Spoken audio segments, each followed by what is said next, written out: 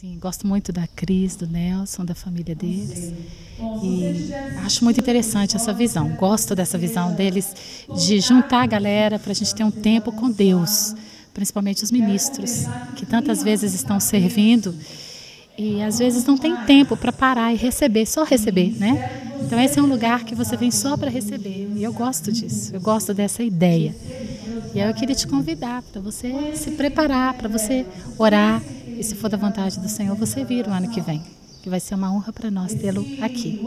Que Deus te abençoe, abençoe a sua igreja, a sua família, em nome de Jesus.